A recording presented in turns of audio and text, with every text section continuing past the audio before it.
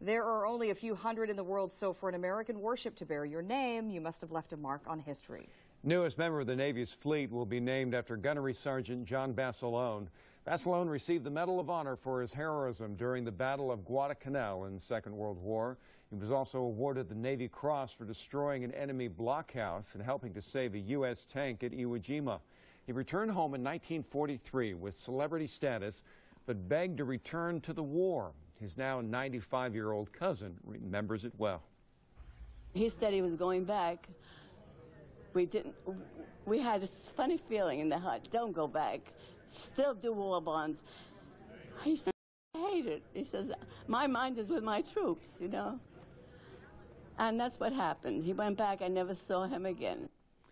Sergeant Basilone was killed in action during the invasion of Iwo Jima in 1945. The newest ship to bear his name will hit the Navy's fleet in 2022.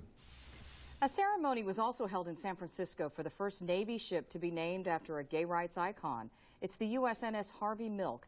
Harvey Milk was elected to the San Francisco Board of Supervisors in 1977 and was assassinated a year later. He was the first openly gay, gay elected official in a major American city. Before becoming a public official, Milk hid his sexual orientation in order to enlist in the Navy.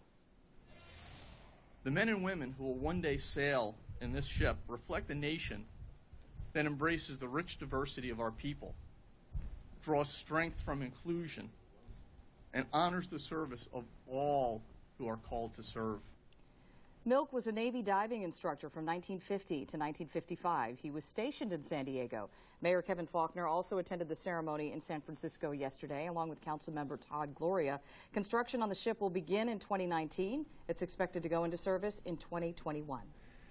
Check out